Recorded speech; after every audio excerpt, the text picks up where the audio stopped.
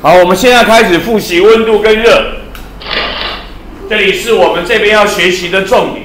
第一个是比较简单的温标的换算，还有要了解一下温度的意思跟一些状况。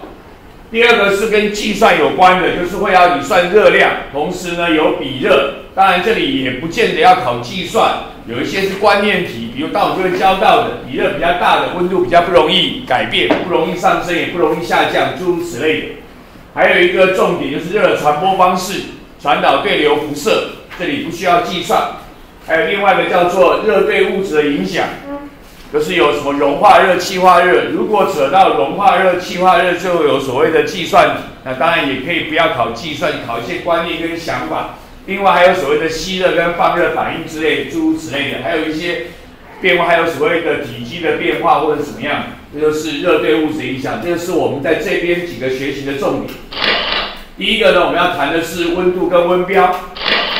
温度呢，就是冷热程度，冷热是人的感觉，好，但是凭人的感觉去感受温度的高低是有问题的，包括了不客观。我们小学做过的游戏啊，一手放热水，一手放冰水，中间放冷水，一手觉得热，一手觉得冷，还有会有限制，太热太冷的东西都不适合用人的感觉去感受它，所以并不好。所以我们就会找到一些性质，它会随着温度的改变而有变化的，利用这些变化来帮我们测量。比如说体积会变化，或颜色会变化，或密度会变化，或者是电阻的大小会变化之类的。呃，所以这种利用某种性质来帮我们测量温度的东西叫做温度计。温度计，我们一般常用的生活中常用到的温度计，或者就是用在所谓的液体的热胀冷缩，或者说我们实验室常用到的。因为现在在外面一个诊所也很少人在用一般的温体温计在量温，都是耳温枪了。耳温枪上就不是所谓的液体的体积变化。好，然后是我们在实验室用的就是液体的热胀冷缩，它有通常有所谓两种，酒精温度计跟水银温度计。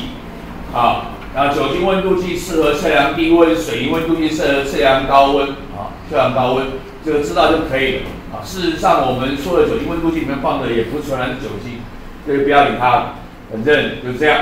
啊。然后呢，这个管子里面会做的比较细、比较长，是希望它的体积有变化的时候，表现在长度上的变化会比较多。